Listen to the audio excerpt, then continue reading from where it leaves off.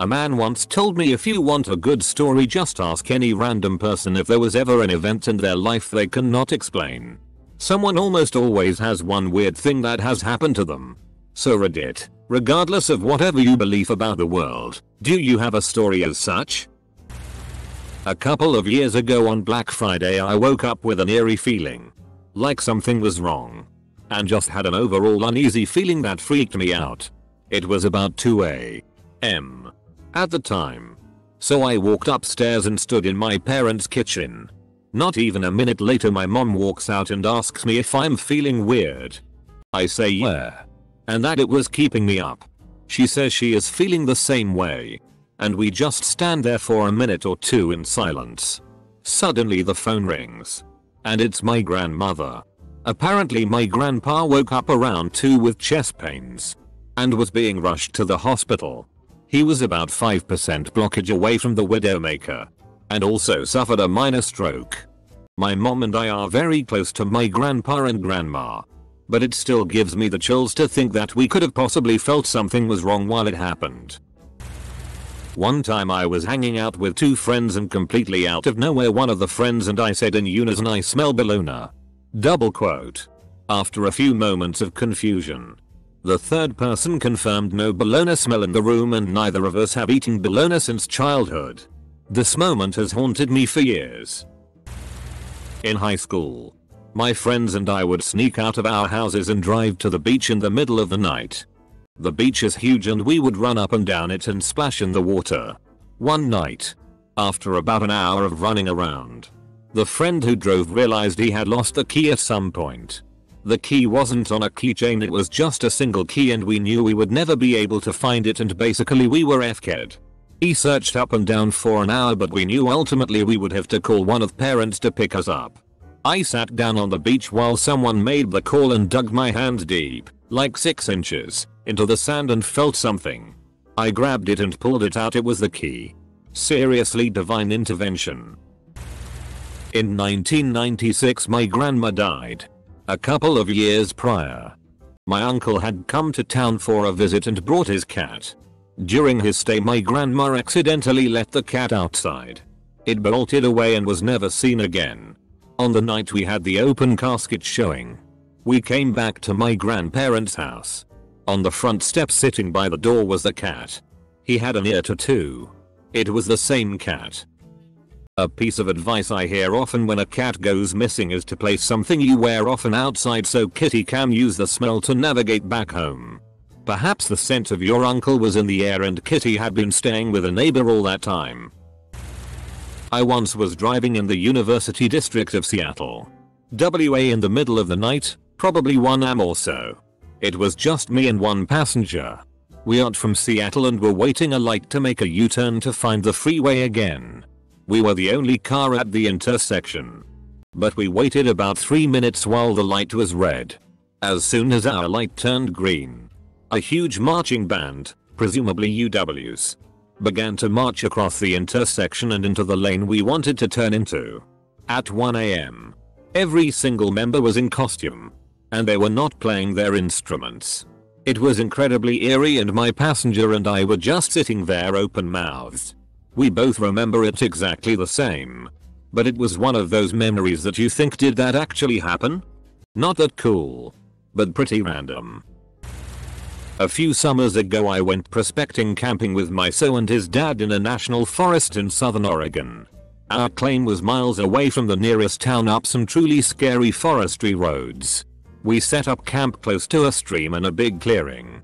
One night we were playing cards and I heard a almost guttural scream. So and his dad had been drinking and they were being so loud they missed it. After getting them to shut up for a second, I heard the scream again but from a different location. The second scream sounded more feminine or something like that.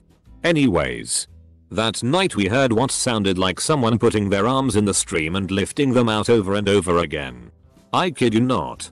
It sounded like something was effing washing something in that stream. We also had rocks thrown at our tent. This was the worst night of my life.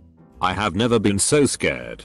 It's worse because I can't put reason behind any of those occurrences. Edit. TLDR. Bigfoot screamed at me. played in a stream, then threw rocks at my tent. When I was maybe 11 or so, I was spending some quality time with my brother. Him and I were close. But it was rare that we ever just sit around and talk about life. We have a swing set that my father had constructed for us. My brother and I sat on the swings and spoke to each other. We didn't swing. We just rested and enjoyed the weather. It was very nice. Until the peacefulness was interrupted by a indescribable noise.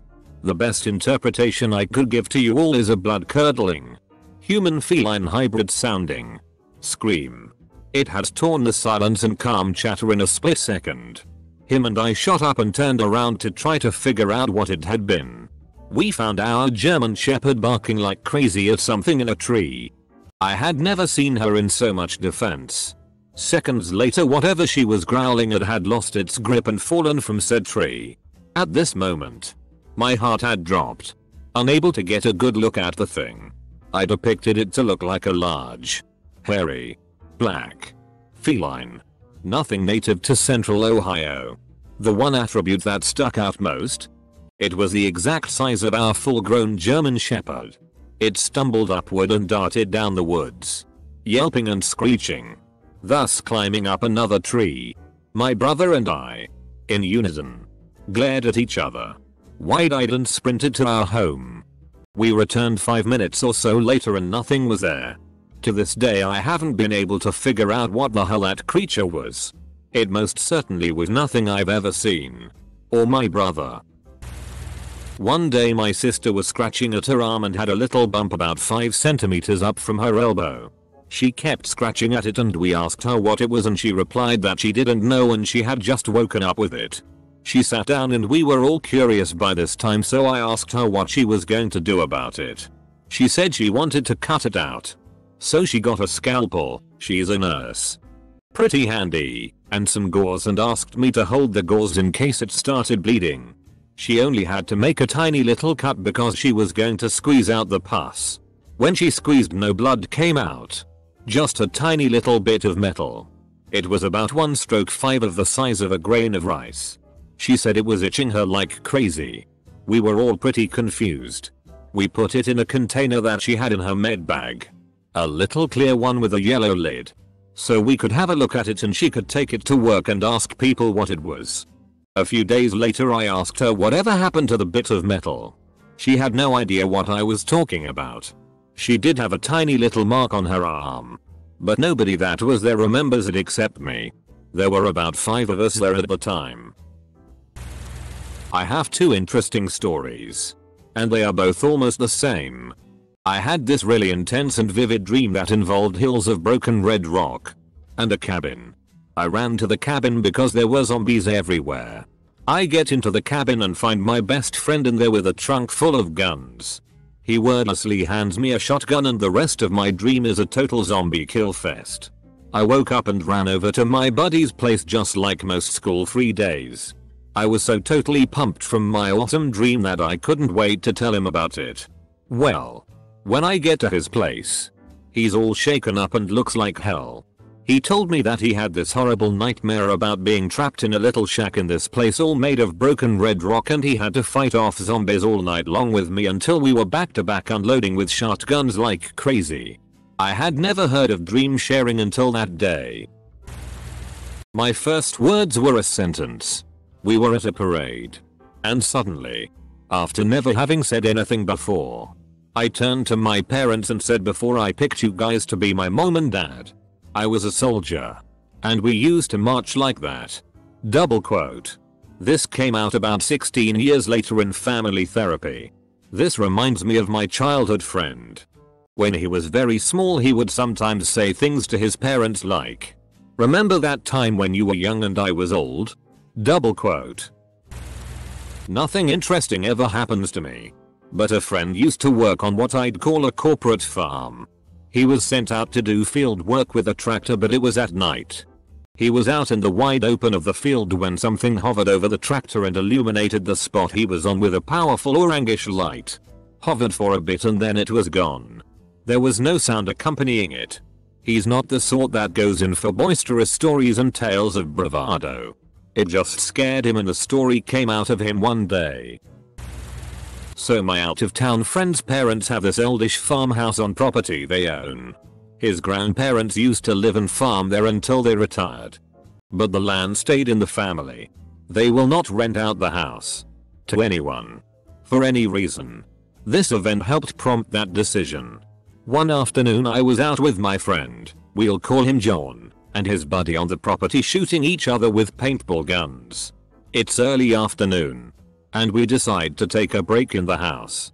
An empty, somewhat eerie house is irresistible to brave.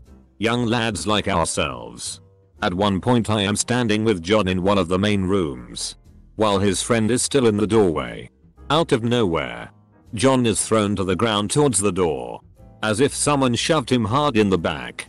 I whirl around. Of course. And see nothing. All three of us booked it out of there. I don't know what on earth happened in that house.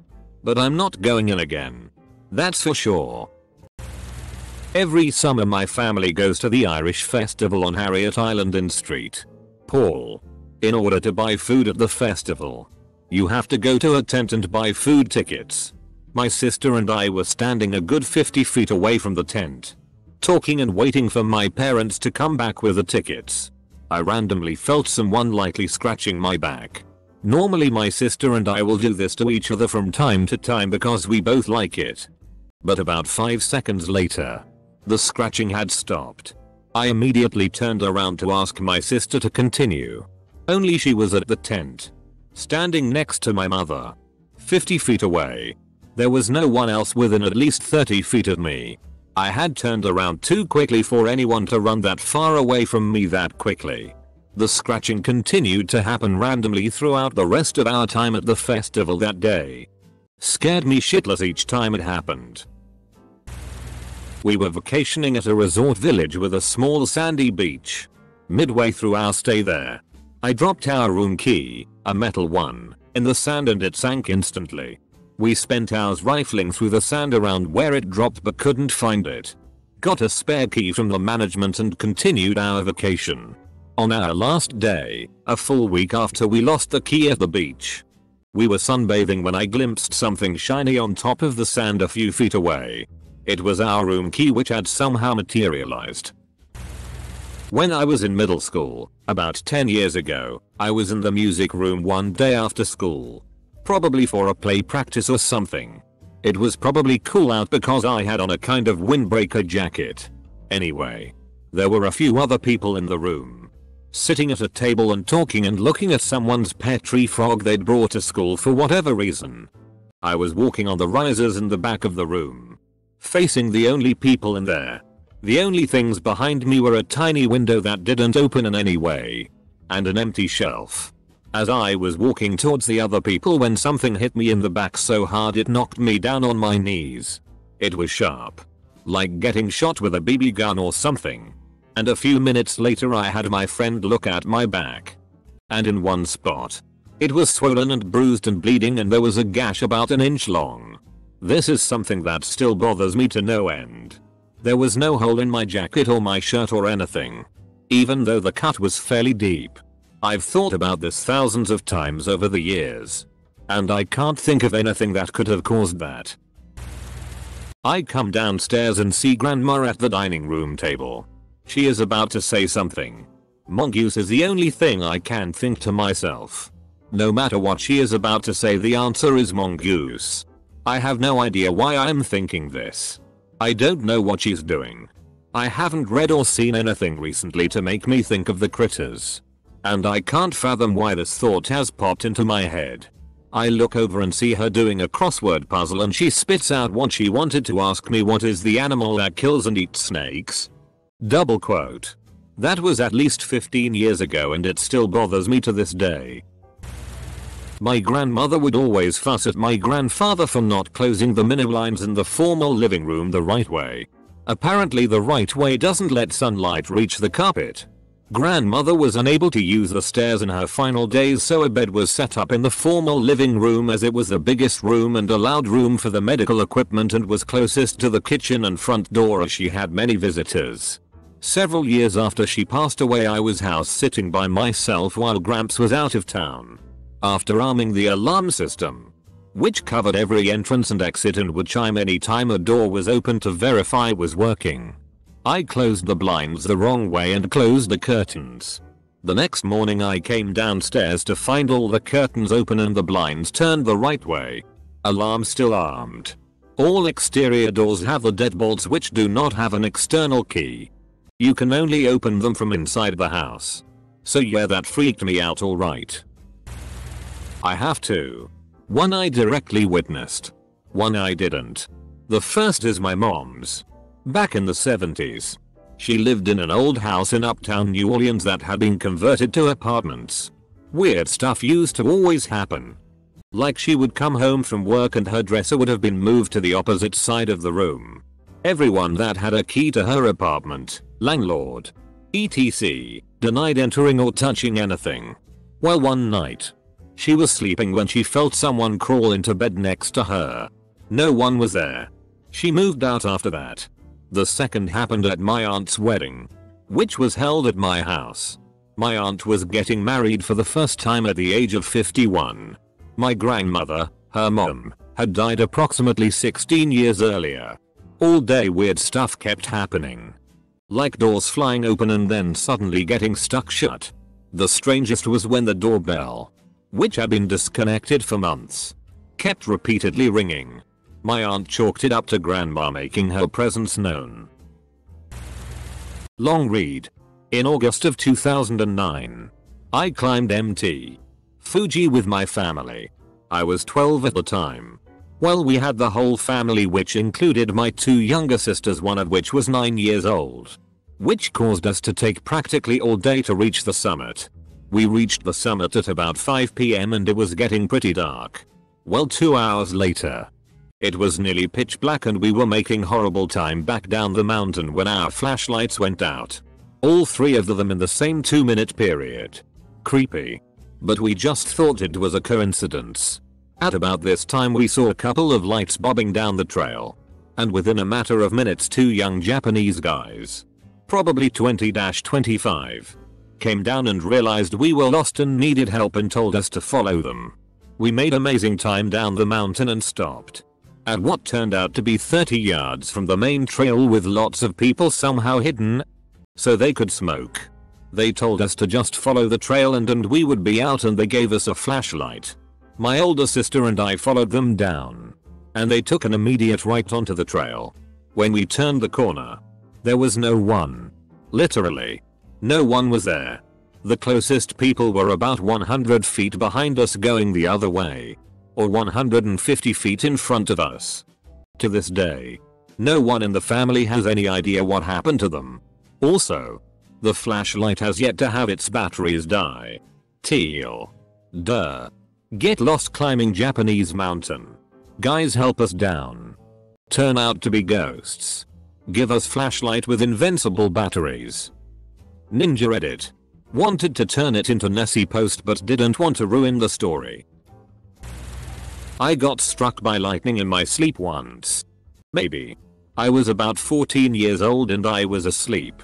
I was dreaming that my sister, my friend Sarah, and I were playing in the woods out back of our house. All of a sudden, storm clouds started to roll in and the sky turned dark. I looked up at the clouds and lightning began crashing all around us.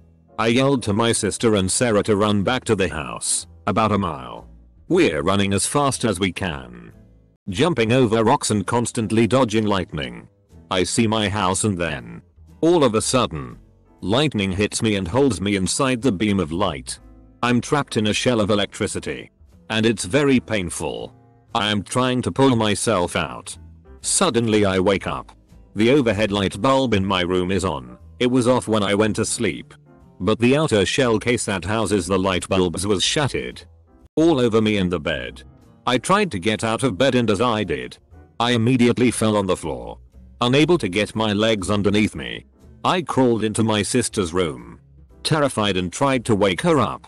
But I was unable to. Eventually I fell asleep on the floor of her closet. In the morning. I was fine. The glass was still shattered on the bed. And no one believed me. I am a nurse that works in a nursing home for over 2 years.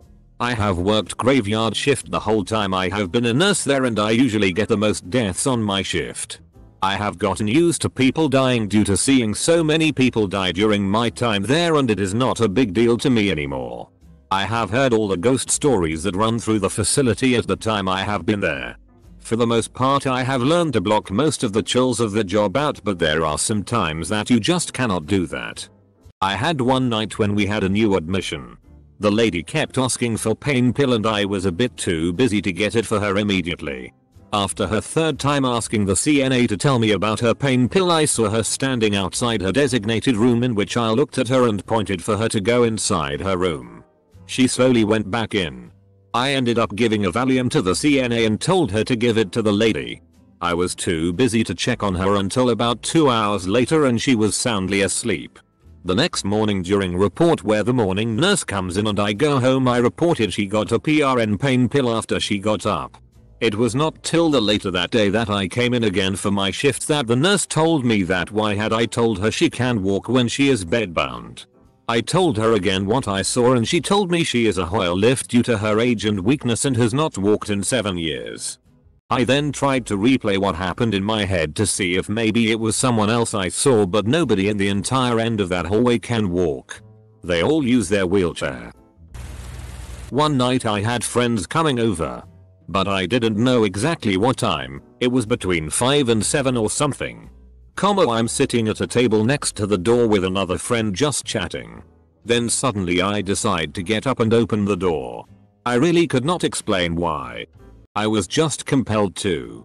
Our other friend was outside the door and had his hand raised to knock. Frozen in shock that I'd opened the door just like one second before he was going to knock without any prompting. Later that evening. We were at dinner sharing some appetizers. At one point. Again I really couldn't say what compelled me. I grabbed the bottle of ketchup and handed it to my friend, same one that I opened the door on. Literally one second before he starts saying please pass the. Wait how did you know I was going to need that? It was super creepy. I'm so late to the party. But here goes. I grew up in Roswell. New Mexico. Yup. The Roswell. Anyways one night right when my clock switched to 1.30 on a Friday in the year 1999.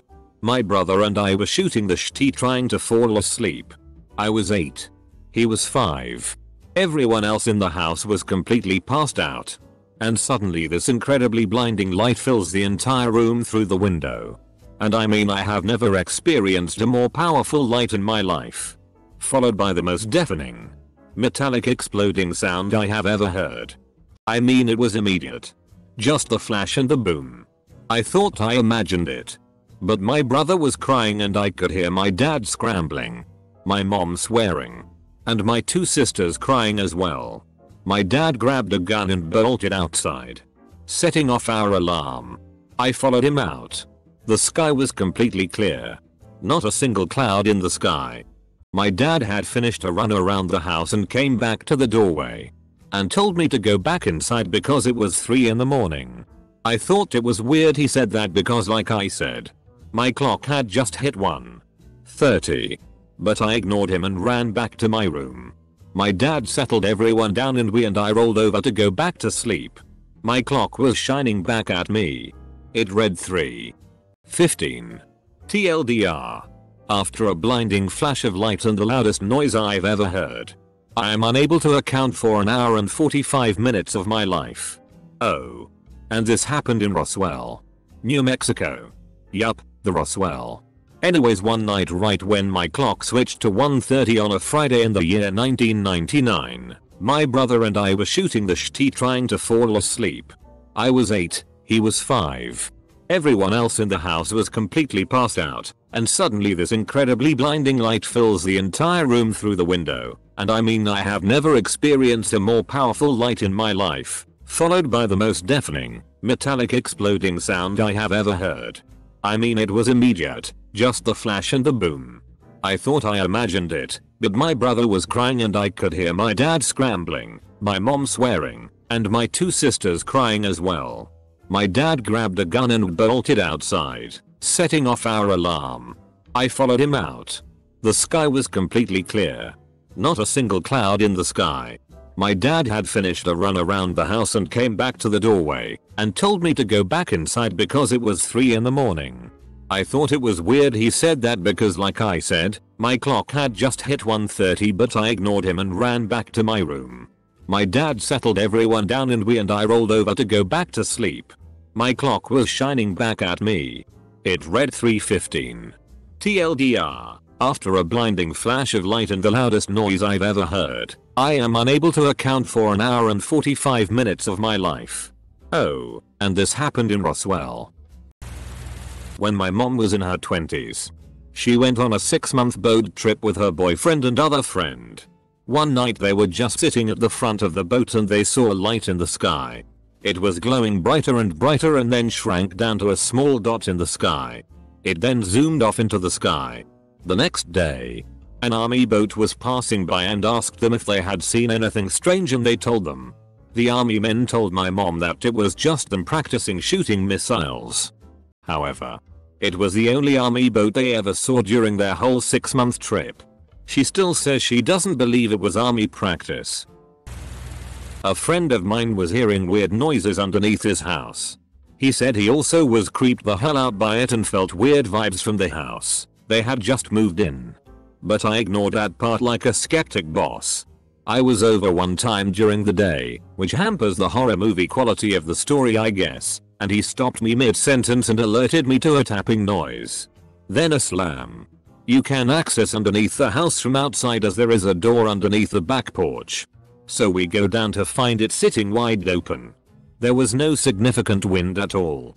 We just stared at the door for a while. Mild urination occurring as we were alone. Nothing happened for a good 15 seconds until to our complete and utter horror. We watched as the door swung closed and locked itself. The lock is a bolt that has to be pushed really firmly through a bracket on the door frame. He tells me it still happens all the time. Well, I'm going to have a hard time sleeping after reading this thread. While in undergrad, I was doing some research that involved soil sampling. I regularly sampled several sites in a wilderness preserve, which would take most of the day to hike through. I always brought a friend. Just for safety's sake. There was this one site, way in the rear of the preserve that always spooked me. No real reason. It was no more isolated than the rest of the sites. But something about it didn't seem quite right. My friend and I were there once. And I was crouching over to sample the soil. I was looking down. And totally unprovoked. I felt this rising terror. Just a fuck this. Run. Feeling. I stood up suddenly. And I could see that my friend had the feeling. She said. We have to leave. Now. Double quote. We ran the entire way to the car. We still have no idea why we felt that way. But I am convinced that there was a very real danger in staying. When I was in 6th grade, my grandfather died. I was in English class. Sitting in the front row and doing my class walk. All of a sudden I felt a strong kick in the gut. Whatever happened? It was forceful enough that it made me bend over my desk in pain and brought me to tears. But it went away as fast as it came. And I was just fine a moment later. Out of curiosity. I looked at the clock in the back of the room. And it was about 10.30. I went home at the end of the school day and found out that my grandfather, who I was very close to, as my grandparents raised me, had died around 10.30. I really wish I could have an explanation of what happened. When I was about 10 or 11, I was living in western Michigan I was out in the woods walking around in the snow by myself because no friends lived close. I thought it felt really slippery then I realized I walked into the middle of a really deep pond. And as I was walking to the other side I fell through the ice. I could not get out of the water as my body went numb. Then something grabbed me and dragged me through the ice. Until I could touch ground. I never saw what grabbed me and pushed me through all that ice. I have no clue as to how I did not drown in the bottom of that pond. I ran home. As fast as I could because I was so cold. I still do not know what saved my life. I went back to that spot. And there were no footprints besides mine. That pond is 14 feet deep. One summer two friends and I went camping in the boonies in Oregon. We spent our days going on trail runs and enjoyed the lakes and scenery. After one long run a friend and I decided to swim in the lake which was probably half a mile across and freezing. We got halfway and were treading water shouting back at our friend on shore. My friend and I looked into the water between us and an American flag was floating about 8 inches under the water. We got really creeped out and swam back to shore as quickly as possible and could never explain why a 2 feet American flag in great shape was floating in the middle of a lake in the middle of nowhere. TLDR went swimming W a friend in a remote lake and found an American flag floating between us. I was in the bath one day when I was about 12. So this was roughly 14 years ago. Anyway. I was chilling in the bath making tsunamis as you do and I realized it was time to hop on out and go play on my brother's Commodore 64 with him and my now brother-in-law. But I soon realized I had forgot a towel. So I shout down to my mother to bring one up and directly my brother's room. Thinking he was hilarious he starts repeating everything I say but in a childish voice basically taking the piss out of me. This went on for roughly 5-10 minutes. Eventually my mother hears my plights for help and comes upstairs with a towel where I tell her to politely tell my brother to shut the FCK up. She then tells me that my brother and brother-in-law left the house about 5 minutes after I got in the bath and she was the only other person in the house. Needless to say strange shit has occurred and does occur to this day. Not just to me but other people as well. Used to it though. I'm a little late to the party. But this story fits perfectly. When I was younger my dad would often come into my room when he got home from work. Usually late at night. And tuck me into bed. I would sometimes be asleep. But the sound of the door usually woke me up enough to acknowledge him before falling back to bed. One night. I remember hearing the door open and looked up over the covers at my dad. He was standing at the edge of my bed as he always does. And would soon be moving to kneel next to me. Only this time. Something was off. He didn't move. Just stood there watching me from the foot of the bed. Now my first thought was that it wasn't my dad. But I knew for certain as was by the shape of his shoulders and the cap on his head. I called his name like he was just messing with me. Instead of responding. He closed the door and sat down on the couch across the room. At this point I was pretty annoyed and just wanted some sleep. So called his name again. Only more forcefully. Irritably I got out of bed and walked over to him. Now from the time I put my foot on the floor to the time I got within 6 inches of his face. I had not taken my eyes off him. Yet. There I was. Staring at a blank couch. I couldn't move for a moment. As if my brain had shut off. I was alone in that room. I quickly crawled back into bed and fell asleep. But chill I got from realizing I was staring at nothing stayed with me on through the next day.